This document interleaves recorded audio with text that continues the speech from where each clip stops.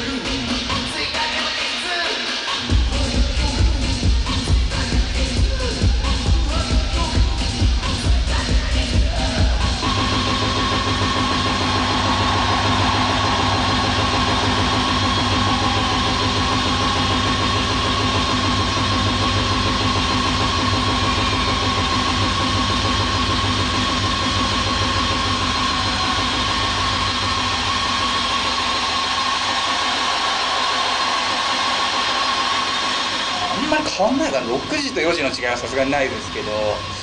去年の2日やった時よりかはなんかこうみんながっちり最初から来てるって感じはすごいありますね。自分の曲をいっぱいかけたっていうところとあと日本語の歌をいっぱいかけたんですけどそれさっき気が付いたんですけどあの歌ってる人の名前が全員和田さんであのアルファの MC 和田とあとレンジのしげちゃんが和田茂文って、えー、今年は4時から男でした、えー、まだ明るいのでこれからゆっくり遊ぼうと思ってます、えー、DJ 田坂です。ワイヤー05